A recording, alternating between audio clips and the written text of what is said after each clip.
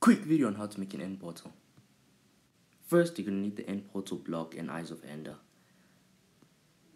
On each side, there must be three blocks. Unfortunately, you can only do this in creative. So, yeah. Make sure when you're putting in the eyes, they're all vertical.